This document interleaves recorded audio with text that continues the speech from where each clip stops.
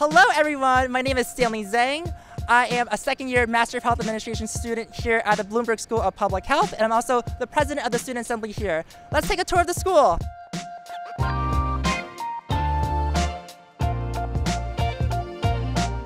So my name is Brittany Claridge and I serve as Director of Student Life here at the Bloomberg School. I love the opportunity to work with Bloomberg students, the best and the brightest in the field of public health, just to make sure they're well supported, whether they're having a really phenomenal time and they just want to get connected more socially, they're having a difficult time and want to get connected to meaningful resources.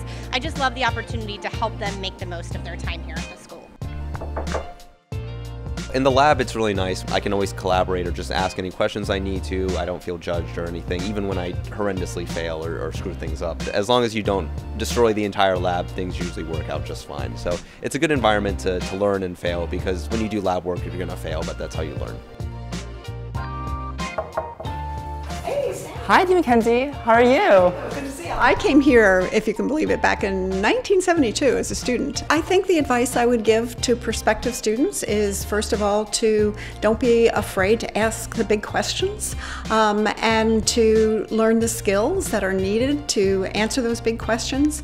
Once you come to the School of Public Health, to reach out to folks in disciplines that are quite far away from what your yes. discipline is and to learn I say this over and over again, I learn as much from the students, but I think the students learn as much from their fellow students as they do from the professors. Fully agreed. And they, they become lifelong partners yes. as they move forward.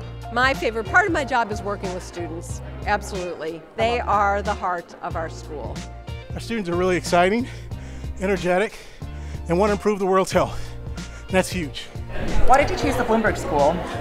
Are you serious? It's Johns Hopkins. yeah, I'm so excited to be here. I'm often asked the question, well, what is the secret sauce? You know, why have we been successful? Top of the list is our breadth and depth.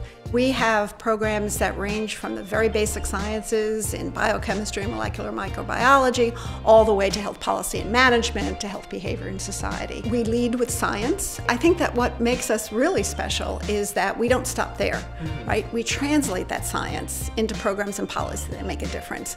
And our faculty and students really care about making that difference. I was in medical school. I wanted to find a way to help the community better. Not all answers are in the hospital hospital.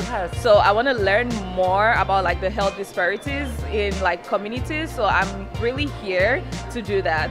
I am super excited having a community of students where we can all be very passionate about public health. It's an amazing place to be in, and I love being here. I love working here. Um, all the friends I've made here are great. The students are very special. They're, I mean, they're the best. They're absolutely the best. They're bright, they're energetic, they're innovative, um, they're creative. They come from lots of different perspectives, which makes for an incredibly vibrant place to learn and to discover